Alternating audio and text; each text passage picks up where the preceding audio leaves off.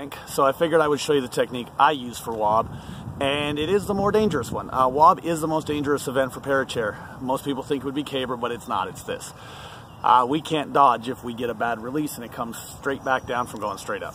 So this is a technique I use. This is the one you have to be more careful of. Um, it's a more traditional looking wob. Um, once again, I haven't found a need for counterweight yet, but uh, once again, you're going to have to adapt the small things like counterweights and that to your individual position. Um, so what you do is you back in. What I tend to do is I'll look over, and that's how I'll gauge my arc for where I need to be based off the uh, standard height. Um, but what you do is you do your standard windup, and then you're going to release traditionally with your left hand on your wheelchair rim for extra stability for your core. Um, I guess there's no better thing to do now than show y'all how it's done.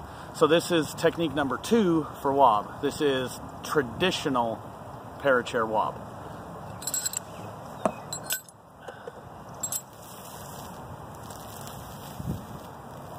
All right, so we're pretending our standards are right behind me where the trig is.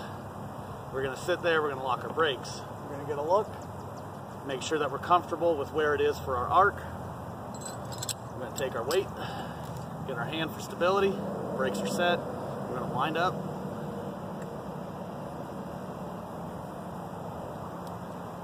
And then release. Okay? The one thing to always remember with this technique, as with most of our techniques from Parachair, the higher you get, the more angle and distance you will need. We have much longer traditional arcs than an able-bodied person due to the ability of them to get their legs under them and get into a proper C shape for all that beautiful stuff for release. We do a much more arced throw, whereas more traditional athletes and able-bodied athletes do a very high arc, but it's narrow. Ours is much wider. This is as what I said to kind of turn me on to the wob for distance technique for lightweight, which I've had great success with. Uh, that's in another video. If you're looking for more detailed descriptions, uh, more detailed training videos, uh, keep an eye out for them, click subscribe, and as we put them up, they'll be there, or we will put up links as to where to find them. Uh, thank you guys.